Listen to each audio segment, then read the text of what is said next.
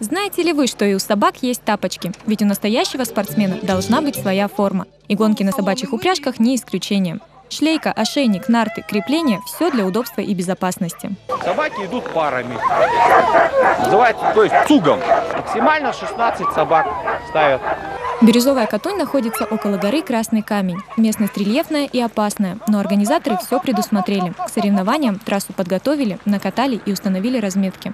Трасса уникальная, действительно уникальная по рельефу, по, опять же, по сложности, по перепаду высот.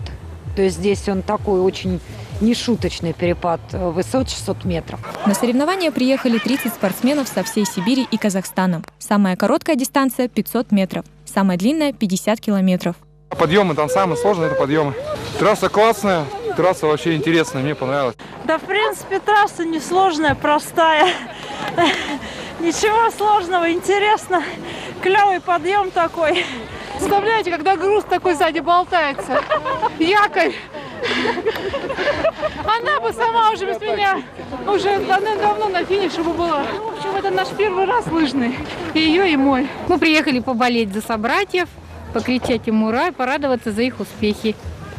Ну, вообще мы спекли, наверное, тоже. Самое главное – это самочувствие собак. После гонки ветеринар осматривает лапки.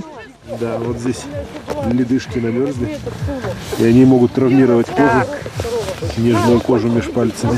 Ну, здесь обошлось.